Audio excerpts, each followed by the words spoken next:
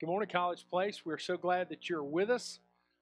Sorry we couldn't have in person worship today, but we wanted to have this service available for you so you could watch it uh, in home with your family, with your loved ones. Hope your Thanksgiving day and your Thanksgiving weekend uh, was all that you wanted it to be, and uh, hope you didn't eat too much. I cannot say the same. We're coming to you on this Sunday, November 28th uh, with this video worship service. And we don't have a lot of announcements for you today, but a couple of things I want to remind you of. Uh, next Sunday, uh, December 5th, we'll be back for in person worship. Both services will offer Holy Communion at both services. So we'll look forward to seeing you uh, next Sunday, December 5th. And then the only other announcement, uh, hopefully you've already seen this on your email. Uh, we're doing a love offering for Trudy Jones, our longtime church secretary. Trudy's been with us and served College Place United Methodist Church faithfully for over 22 years. Sadly, she's leaving us. Uh, Friday, December 10th is her last day. Uh, to say thank you, uh, we're taking up a love offering for Trudy, and we want to give you an opportunity to participate in that. Uh, hope you'll keep Trudy in your prayers. She uh, and Francis moving to Fernandina Beach uh, to be there with her fiance Dean, and so uh, not only during the holidays, but this coming year, Trudy and Dean uh, are moving Trudy. Uh, they've got to plan a wedding, a lot going on. So let's pray for them. If you want to participate in the love offering, you've got a couple of options.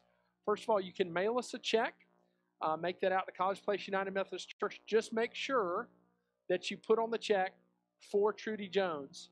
Um, or secondly, you can put the check physically in the offering this coming Sunday December 5th. Now, the deadline to get it to us, either in person or mail it, is Tuesday, December 7th. So just keep that in mind. And uh, like I said, make it out to College Place United Methodist Church. Just make sure that you mark uh, what it's for. Those are the announcements for the day.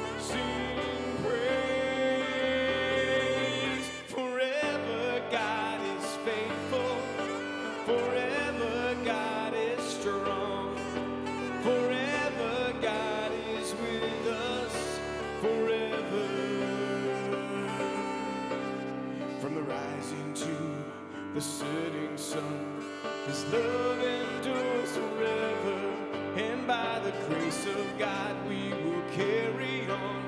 Is with us forever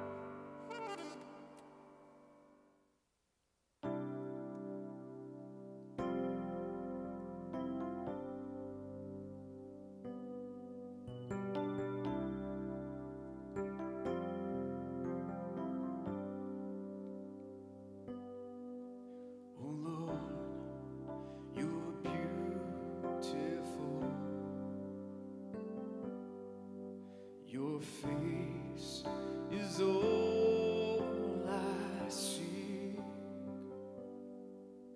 And when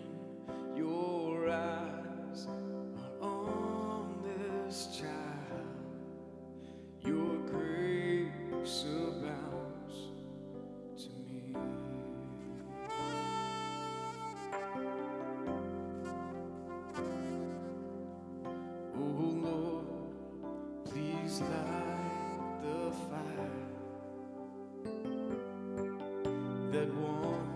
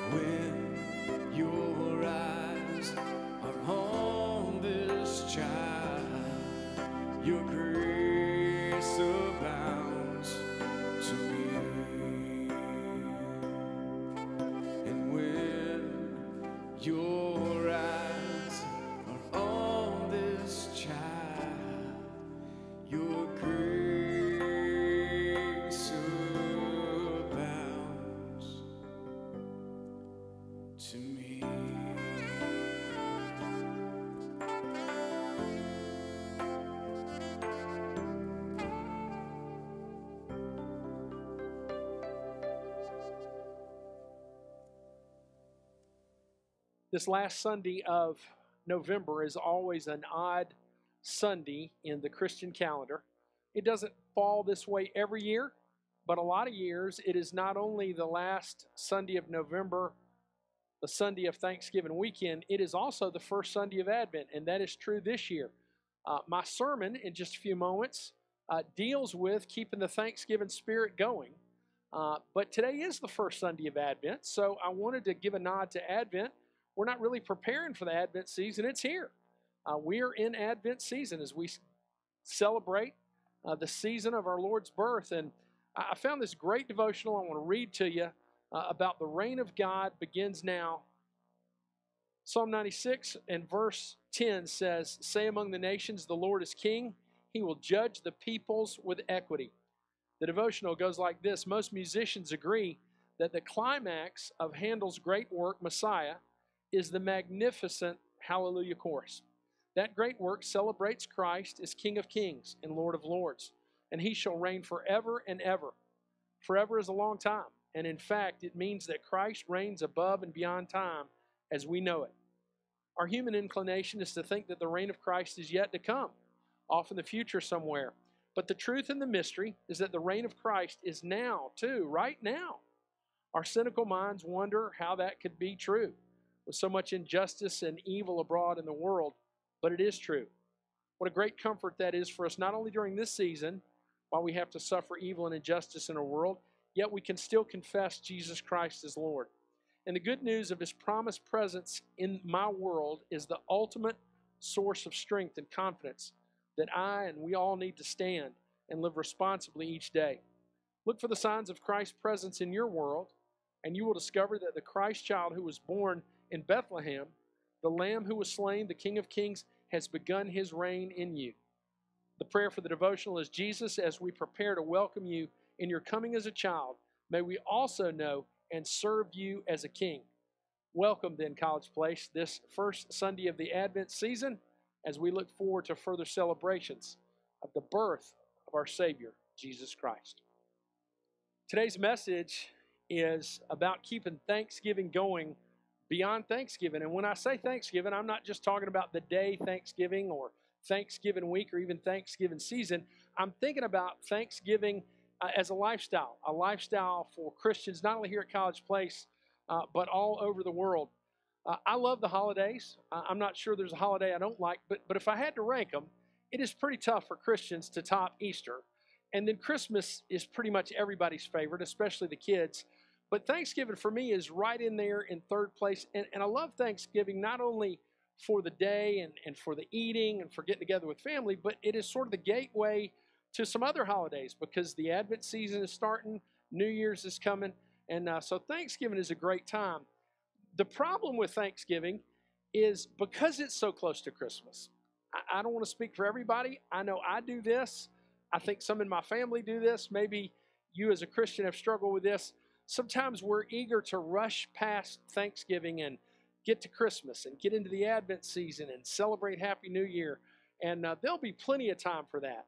But I don't want us to sleep on Thanksgiving and uh, take it for granted. Not, not only that one day, not only that one week, but just the importance of the practice of giving thanks with our lips, giving thanks uh, in our lives. And so today I'm talking about four different ways for us to keep the spirit of Thanksgiving alive well beyond that fourth Thursday in November. Before we talk about that, let's pray. Father, thank you uh, on behalf of the Vernons. Thank you on behalf of my brothers and sisters here at College Place for this Thanksgiving day and this Thanksgiving weekend that we've just experienced.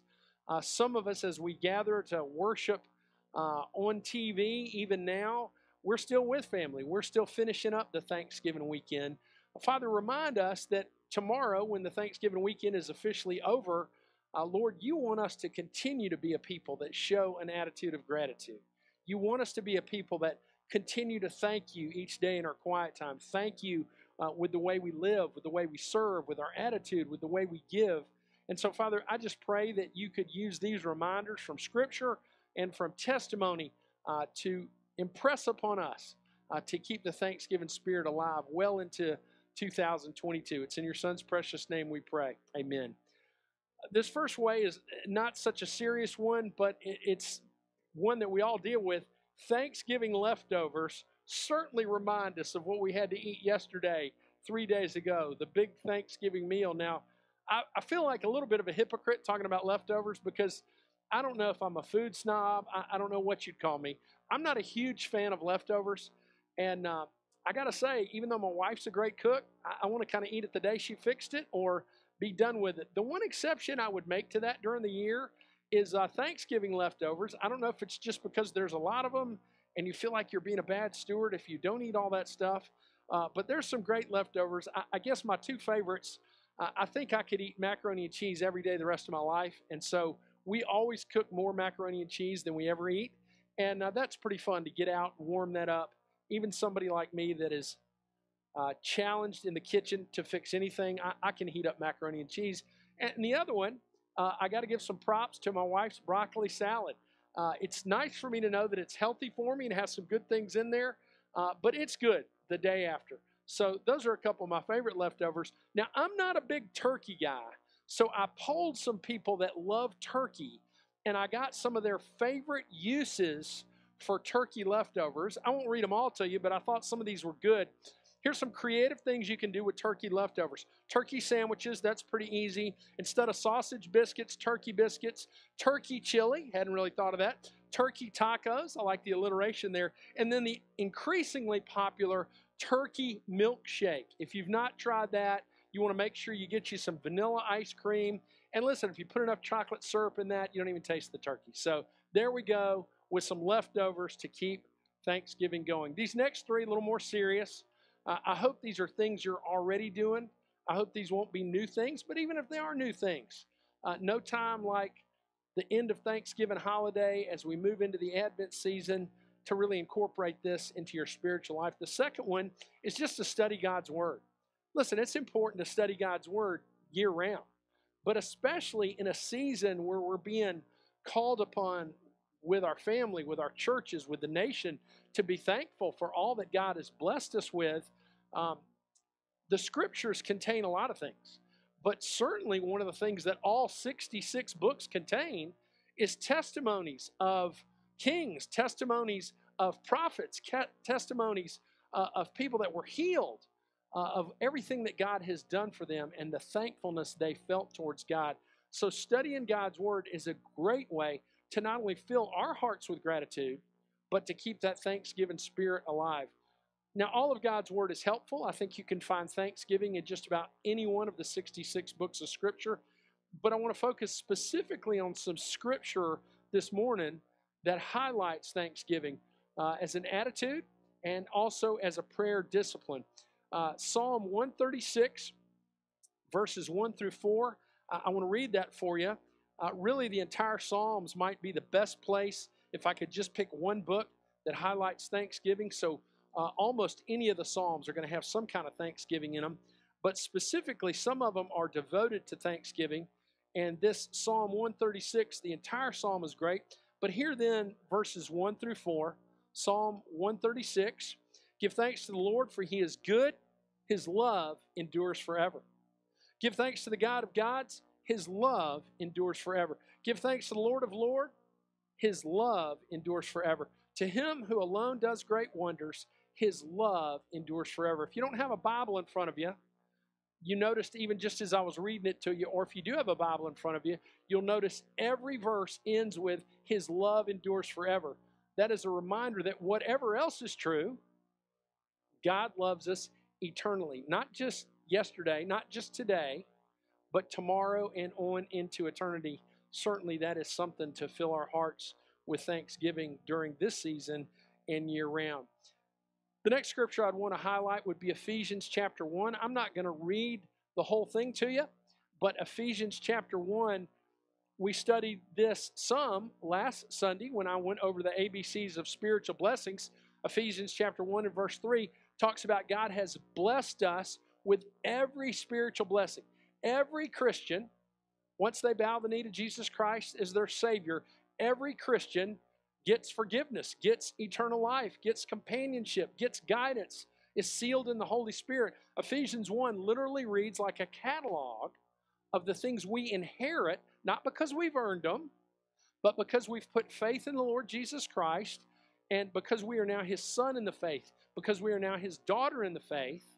These are all the things we have. So you can literally read through Ephesians 1 and give thanks for each phrase, each spiritual blessing that you have. It's a great way to be reminded of how grateful you and I need to be each and every day. And then, last but certainly not least, I want to read you the story from Luke chapter 17, Gospel of Luke, chapter 17, verses 11 through 17. This is the healing by Jesus of 10 men with leprosy. Luke chapter 17 and verse 11. Now, on his way to Jerusalem, Jesus traveled along the border between Samaria and Galilee. As he was going into the village, ten men had leprosy. They met him. They stood at a distance and called out in a loud voice, Jesus, Master, have pity on us. When he saw them, he said, Go show yourselves to the priest. And as they went, they were cleansed. Now, notice they weren't cleansed until they did what Jesus asked. So sometimes God just heals us without us having to do anything. But sometimes God asked us to participate in the healing. And certainly that was the case with these lepers. So he asked them to go show themselves to the priest. As they're on the way to the priest, they were healed. The story continues.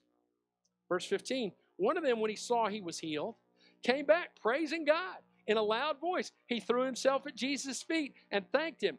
And he was a Samaritan. Now, that might not be a big deal to you, but a Samaritan was somebody of mixed race. They had both Jewish blood in them and also Gentile blood in them. So the Jews looked down on the Samaritans, and the Gentiles looked down on the Samaritans. They were social outcasts. They were about as low in the social caste system as you could be. So it is not lost on readers of Scripture that this isn't just anybody going back and thanking Jesus. This is the Samaritan who's at the bottom of the barrel in terms of how other people view him. He's the only one that comes back to Jesus. Verse 17 Jesus asked, Were not all ten cleansed? Where are the other nine? Was no one found to return and give praise to God except this foreigner? Then he said to him, Rise and go. Your faith has made you well.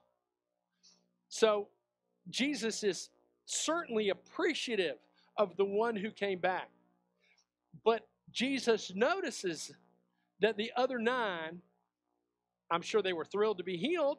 I, am sure they thought about, boy, I'm glad that guy healed me. Boy, I'm glad Jesus had that power. But not a single one of them, other than the Samaritan, bothered to come back and look at Jesus and tell him.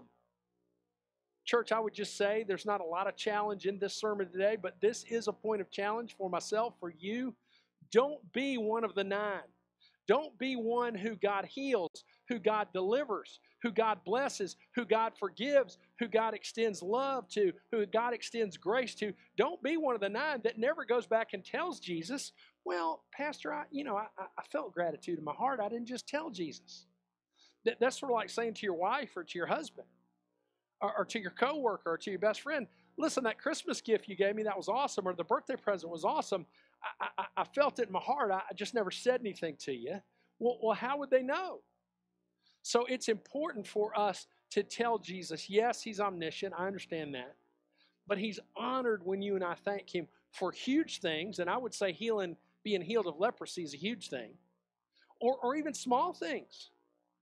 Maybe it's not a small thing to you. Sometimes we treat it like a small thing. I, didn't do this when I was in my 20s. I didn't do this when my in my 30s or 40s. But now in my 50s, almost every day, I, I'd say 90% of my days, I thank God that I could get up today, that I could breathe today, that I could walk around. Listen, you and I have loved ones, we have brothers and sisters in Christ right here in this church. It's tough for them to physically get out of bed. Now, none of us could be at church today because we didn't have in person worship, but there are plenty of Sundays where we've got folks that are part of College Place, part of other churches that love Jesus just as much as you and I do, physically they can't get there. It's too hard to breathe, it's too hard to move. They're too vulnerable to getting involved with COVID 19 infection. There's a lot of reasons that people have to stay away from church because of their health. So we should never take our health for granted. And yet, here's Jesus healing 10 lepers. Only one out of 10. Wow, what a terrible percentage. Only one out of 10 came back and thanked him. And it bothered Jesus, and Jesus noticed. You and I don't want to hurt Jesus by being like those nine. Hey, I'll take my blessing.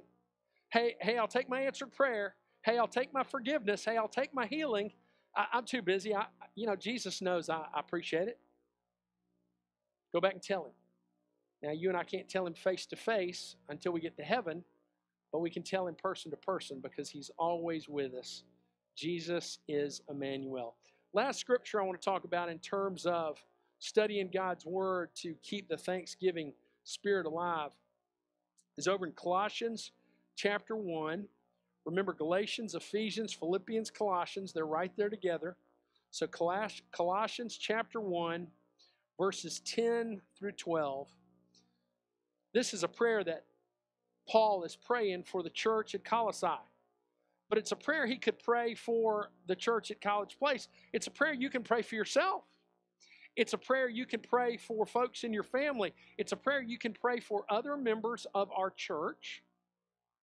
But as we read it, I not only want it to be a prayer that you pray once and put up till next Thanksgiving, I'd like for it to be a scripture that you and I meditate on. Some of us are better at memorizing scripture than others, but this would be a great scripture to memorize to read every day, to stick on a note card and stick it in your car, stick it on your refrigerator. Listen to what Paul prays for the Colossians, chapter 1 and verse 10. And we pray this in order that you may live a life worthy of the Lord and may please Him in every way. bearing fruit in every good work, growing in the knowledge of God, being strengthened with all power according to his glorious might, so that you may have great endurance and patience and joyfully giving thanks to the Father. Listen, the, the whole prayer is awesome. He's talking about them growing in their faith, being stronger in their faith. But he ends it my prayer for you, Colossians, is that you will joyfully be giving thanks to the Father. Don't want to insult your intelligence this morning, but why do we need to joyfully give thanks? Well, well, if you give thanks to anybody and there's not some joy, there's not some enthusiasm, you might be telling them, hey, thank you for that nice anniversary present. But if there's not a little joy in your voice, they might think, you know, that didn't really sound genuine. Or if you tell somebody, listen, I, I really appreciate that Christmas gift that you gave me. It's one of the nicest things anybody's ever done for me. There's a difference in saying that. Thank you for that Christmas gift. Wow, what a surprise. That's one of the best things I got the whole season. Do you see the difference? You and I can say the same thing, but if there's joy, if there's enthusiasm, if there's some zest in how we say it to the person, it comes across as more powerful. It's the same with God. So Paul wants us to joyfully give thanks to the Father, not just grow in our faith, not, not just serve Him, not just attend church, not just have a great Christian witness, not just live a life that is pleasing to God in every way. All that's important. But the last thing that he prays for the Colossians in that passage is that you would joyfully give thanks to the Father. You see, when we joyfully give thanks to the Father, not only does it honor God, not only does it protect our attitude from getting bad, from getting bitter, not only does it bless others around us, but it's a great witness to those who might not yet know Christ. So, those are just a few highlights from God's Word about uh, thankfulness, gratitude, and I hope that will help you keep the spirit of thanksgiving going. Uh, a third way you and I can keep the spirit of thanksgiving going is just by praying prayers of thanks. Well, Pastor, duh, we know to do that. Okay, I think you probably do. But let me just give you some specific ways to do that. You hear me talk about this just about every time I'm talking about specifics of prayer life. I always want to give credit to Campus Crusade for Christ because this is where I learned to do it. The ABCs of Thanksgiving. In fact, I did an ABC sermon last Sunday.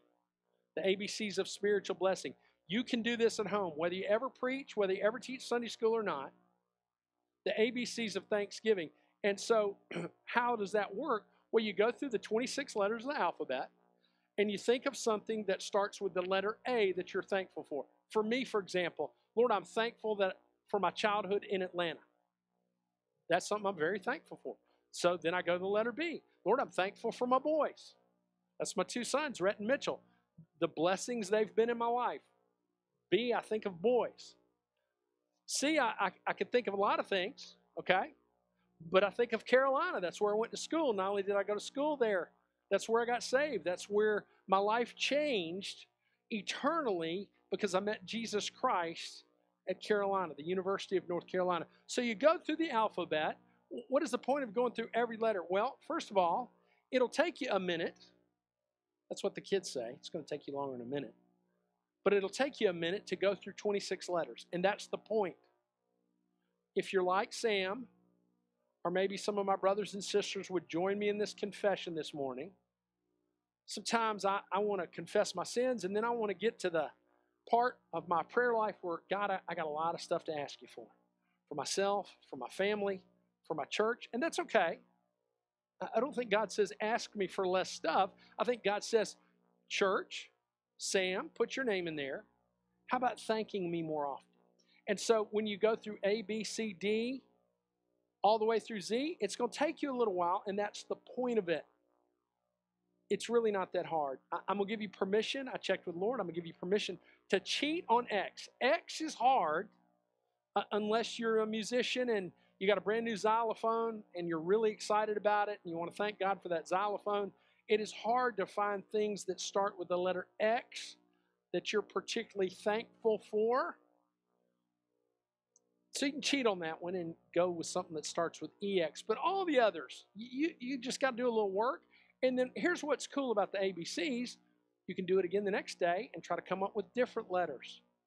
And challenge yourself to find all the creative things God's done for you. yesterday, last month, last year, last decade. And it can be ABCs of Thanksgiving in general. It can be ABCs of things I'm thankful for about my church. It can be ABCs of things I'm thankful for about my family. You can customize the list. It's a great way to keep that spirit of Thanksgiving going all year long. A second thing you can do is a prayer discipline. And again, I don't want to be a hypocrite. I'm not currently doing this, I've done this before. My wife does this, and it's a great way to organize your prayer life. I've been around Christians that have done this through the years. Organize different categories of thankfulness. So I, I just made this one up, but I've heard these before. For example, I've had friends that said, like on Sundays, they would be thankful for things they learned in church that day. So they're not only expressing thanks to God, but it helps them uh, cement in their mind what they heard in Sunday school, what they heard in the sermon, what, what the choir anthem was about, whatever particularly they learned in Sunday school or church that day. So that's what they give thanks for on Sundays. On Mondays, they give thanks for things about current or past employment. Mondays kind of go back to work day for most of America. Go back to work day. So Monday is, you know, probably if you polled Americans, Monday's probably the least favorite weekday of the year, of the year, of the week. But that's a way to have prayer on Monday. Things I'm thankful for about my current employment situation or past employment, jobs that I've had that I've loved. Tuesday, thank God for material blessings. Wednesday, thank God for spiritual blessings. Thursday, thank God for the difficulties or trials or challenges that you now face. Pastor, what? You, you want me to thank God for the difficulties that I'm in right now, for trials that I'm undergoing right now, for challenges in my life right now?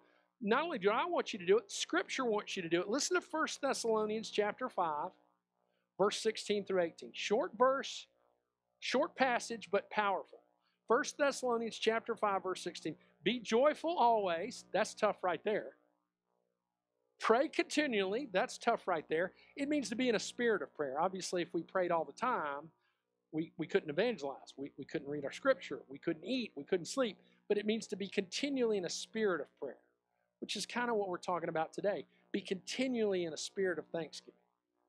So 1 Thessalonians 5:16, be joyful always, pray continually, give thanks in all circumstances. That's right, the scripture says give thanks in all circumstances. Now, I don't know about you, I don't have any problem giving God thanks when things go my way. When life is working out like I envisioned it. When good things happen to me or my family or my church, boy, I'm first in line to thank God. God, that was awesome. God, you're good. Do it again. Do it some more. But how about when things don't work out for us? How about when there's sickness? How about when we run out of gas and we're late to a really important appointment?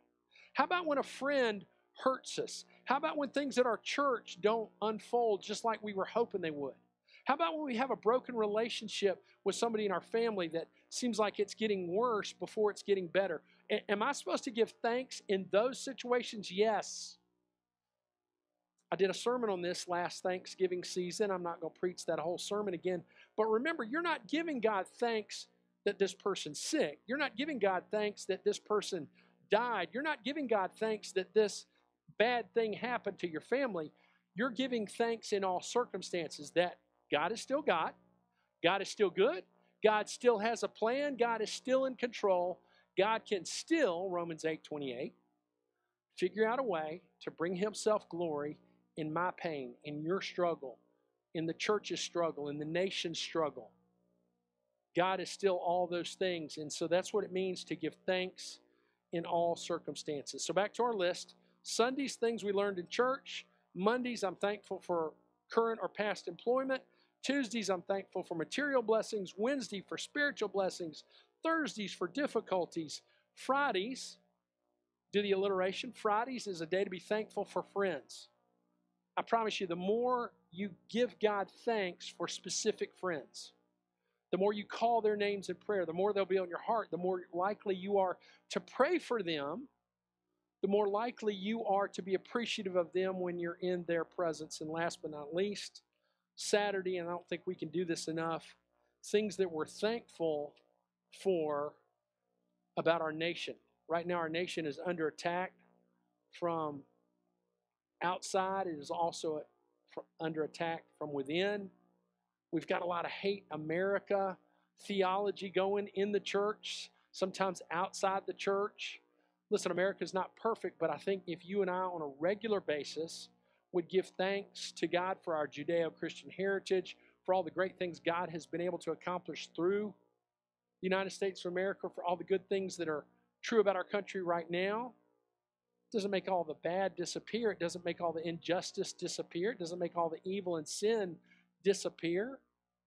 But it makes us more appreciative of our country, and it's a good place to start in praying for our nation. Last but not least, the fourth way to keep Thanksgiving going well beyond November is to keep connections going with family. Now, I don't know how it works out for you when you get together with your family.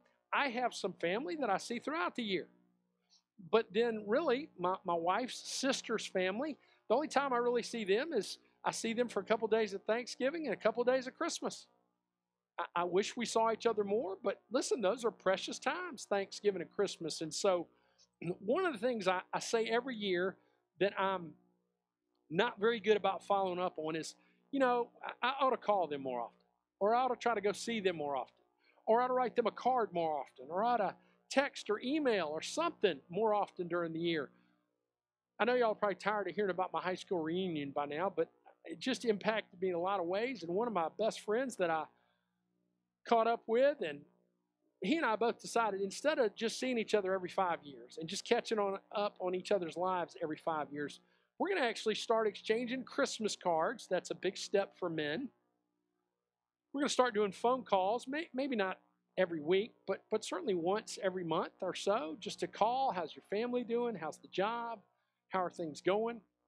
And so that's a way, especially if family is a big part of your Thanksgiving celebration, that's a way to keep the Thanksgiving spirit alive and going. Now, family that you see that live in the same town, that you see regularly, maybe this isn't as big a deal to you because you're already in constant contact. But I would say, especially for family that's out of town, that you only see once, twice a year, uh, it's such an important thing. Christmas is coming up. You know, I'm big on Christmas evangelism. Christmas card evangelism is easy. Instead of sending that Christmas card that has a picture of Frosty the Snowman on it, as much as I love Frosty the Snowman, how about a Christmas card that somebody's already written, somebody's already done the hard work, there's already a Bible verse printed on it, there's already a Christian message, and just signed by you, hey, love you guys, thinking about you, hope you can find the same joy in Christ that we have. Is that going to lead them to fall down and pray to receive Christ? Probably not, but it plants a seed. Or maybe in that Christmas card, you can invite them to church. Or maybe in that Christmas card, you could say, hey, this is one of my fi- favorite Bible verses and explain to them why. There's a lot of things you can do with a Christian Christmas card. It helps you keep in touch with family, it's good evangelism. It's kind of the one time of the year we can write somebody a card or a letter and it not seem like such a big deal. Oh, why, why is Sam writing me? Why is my cousin writing me? Why is granddad writing me? Well, everybody kind of expects people to reach out to them during Christmas with Christmas cards. I think this is a great way to keep that connection going with our family, especially for potential believers. Folks will say to me all the time, Pastor, I, I feel odd asking family members if they know Christ. I understand that. A Christmas card is a great way to do it simply to say, hey, I look forward to seeing you at our Christmas gathering. We, we hadn't really talked about church in a while. I, have got some things I'd love to share with you if, if we could take 10 minutes. Just kind of let them know you want to talk to them. Sometimes that can spur a conversation. So combine that desire to keep Thanksgiving going with that desire to keep connected to your family, with that desire to reach folks for Christ. And the Christian Christmas card is a great way to do it. So, those are four ways to keep the Thanksgiving spirit going. They're not the only way. But in conclusion, I hope all of us as believers, whatever denomination, as long as we bow to the knee of Christ, can agree that Thanksgiving's not just a day, it's not just the fourth Thursday in November, it's not just a season, but it really is a lifestyle to show God an attitude of gratitude. Gratitude in our lives that is evident. Remember, it glorifies God, it blesses those around us, and it is a great witness. So, College Place United Methodist Church, hope your Thanksgiving was awesome. Hope you'll keep the Thanksgiving spirit going not only into December, but well into 2022. And since we did acknowledge that today is also the first Sunday of Advent, as we let go of Thanksgiving, look forward to celebrating the birth of Christ, I want to be among the first to wish you a very Merry Christmas. God bless. See you in church Sunday.